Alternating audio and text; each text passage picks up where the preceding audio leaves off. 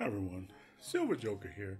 Now listen, there are three things that I believe is fundamental for anyone who is considering stacking physical silver or things to keep in mind if you're already stacking physical silver. And that is understand what physical silver is and how it is valued, which is very important. I think a lot of people really don't understand that. Understand what physical silver can do for you and what you expect realistically for silver to do for you. The last thing is one of the most important things that you need to ask yourself. There's just two questions, and those two questions will determine without a doubt if stacking physical silver is for you. So if you're interested in any of that, stick around.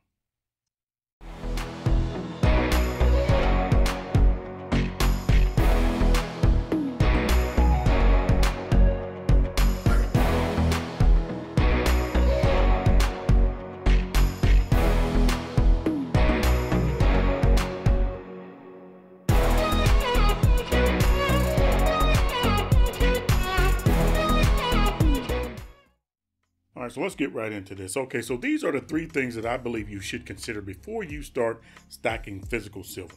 And the first is important to understand what physical silver is and how it's valued. I think there's a lot of misconceptions in that, especially with the new stackers. And because physical silver is different from ETFs or paper silver investments, it's priced by the individual seller and not by the market or spot price. You can't walk into your local coin store and say, you know, spot price of silver is twenty two fifty. That's what I want to pay for my ounce of silver. Yeah, that doesn't work that way. And the same goes when you're selling your physical silver. I mean, you and the person buying your silver will determine the price, and it probably won't be spot price. Um, spot price is not the value of your physical silver. The paper price is not the value of your silver.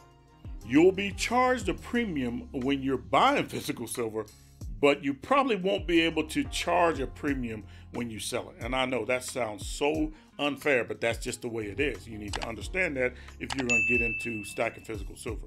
If you're looking to profit from buying physical silver, it will most likely come from the slow gains in price over time, right? Any profit is going to come from selling for a price greater than what you paid for. And that's going to come over time. If you're buying silver for a immediate profit, you're going to be disappointed because silver does not work that way. Physical silver does not work that way.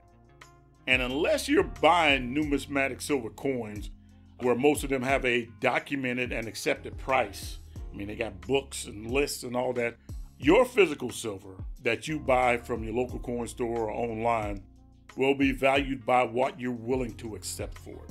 So, in other words, if you pay $25.75 for an ounce of silver, then you're probably not going to accept anything lower than that, no matter where spot price is, right? Because that's your value of your silver. So it's not determined by spot price.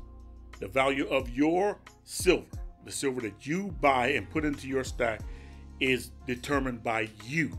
Now, can you get the prices that you want for your physical silver? Well, in a perfect world, yes, but that's not always the case. But here's the here's the rub, and a lot of people, a lot of people miss this.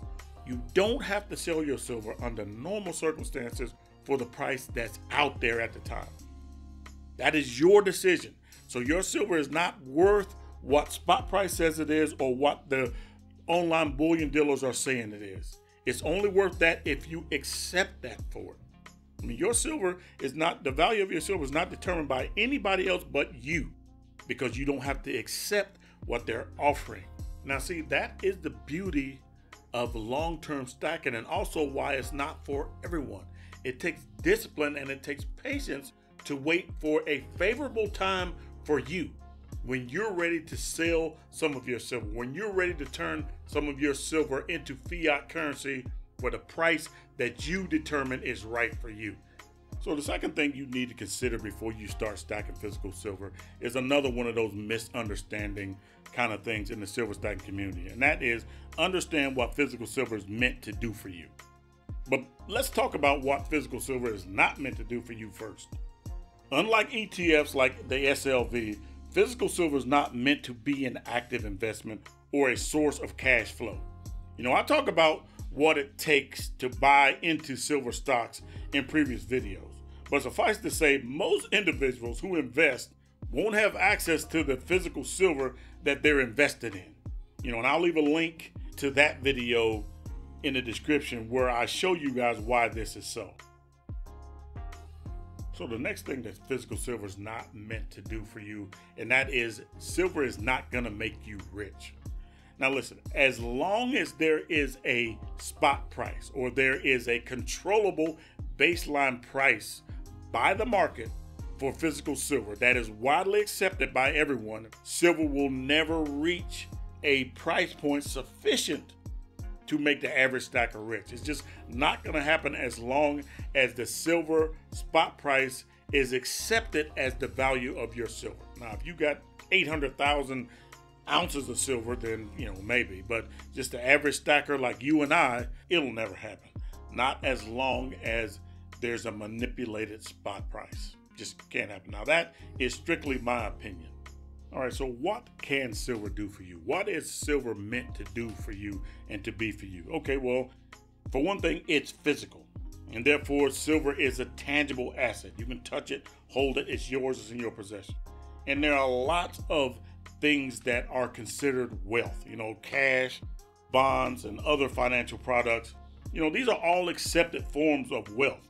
But y'all know, to me, they are all essentially still digital promissory notes.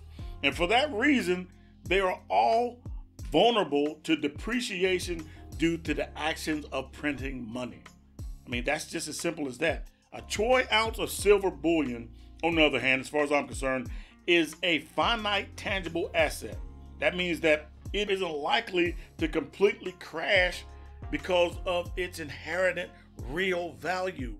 Silver is always going to have value because it is silver. It, it supersedes whatever promissory notes that are created by whatever bank or government. And because of this fact, physical silver can act as a hedge against inflation. Because look at it like this it's a tangible asset with inherent value, which means that because it's silver, it's going to have value. And since silver has a limited supply, they can't create it, it has to be mined out of the ground and there's a cost to produce it. Because it can't be printed into oblivion, it is going to be immune from the inflationary pressure that the currency is going to experience. We're going to need those dollars. We talked about this before. You're going to need those dollars, but having physical silver is going to give you access to more of those dollars, which is what you're going to need because things are going to cost more dollars which gives us a hedge because it's going to cost more to make that silver today. Therefore, the silver is going to cost more today than what it cost us to buy it five years ago. That's the hedge. I mean, it's as simple as that. And silver will provide that no matter where the dollar goes. That's a guarantee. It is the promise fulfilled. All right, the third and last thing that I want to share with you guys, if you're still with me if you understand all that I've presented so far and you're still looking to start stacking physical silver, then as far as I'm concerned, this is the most important question to ask yourself. And that is, can you stack it? Can I stack physical silver? Okay, so what do I mean by that? Look, when I talk to family members and friends who approach me about starting their own silver stack, I first ask them two simple questions. The first one is do you have a savings account? Simple as that. Yes or no answer. And the next question I asked them is when was the last time you had to go into your savings account to do anything but make a deposit? Now that's important. And here's why. A lot of first time stackers don't realize that sometimes it's just as hard not to buy physical silver as it is to buy it. You know, if you're spending money that you can't afford to spend, for physical silver, then you could be forced, due to unforeseen circumstances, emergencies, or whatever, to go into your stack before you're ready and take a financial hit for doing so. Take a loss on your silver for doing so. So if you have a savings account, which everyone should have, as far as I'm concerned, and you're having to withdraw cash from it, then you might need to think about some things before you start a stack. because I see silver, physical silver, as savings. And just like your savings account, it is meant to be a long term endeavor. It's meant to sit and just benefit you over time, not something to be utilized often because, especially with physical silver, you will probably end up taking a loss if you turn around and sell your silver as soon as you stack it, as soon as you put it in your stack. I mean, if you can't put your physical silver away and hold it until you're ready to use it for whatever you want to use it for and not emergencies, then maybe stacking silver isn't for you right now.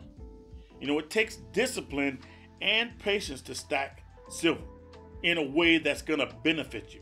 You know, and I had to learn that the hard way. All right, so I've talked a lot. This is a lot longer video than you guys are used to getting from me, but these things I believe are fundamental to stacking and maintaining a stack that's going to benefit you, and that is understand what physical silver is and how it is uh, valued. That's important. Understand where the value comes from before you buy physical silver, so you're not have unrealistic expectations of what it can do. Understand what physical silver can do for you, what it's meant to do for you, and then how that fits what you expect silver to do for you? And do you have the financial discipline to maintain a physical stack of silver in a way that's beneficial for your financial health? That's important. Because if you can't keep it without going into it and taking a loss after you buy it, then it's not going to benefit you financially. It's going to be a financial burden on you. But you do it your way. You do silver the way you feel is right for you. Who am I to tell you how to do it? These are just my opinions. Anyway, appreciate you guys stopping by. More good content coming up. Going to talk to my local coin store owners.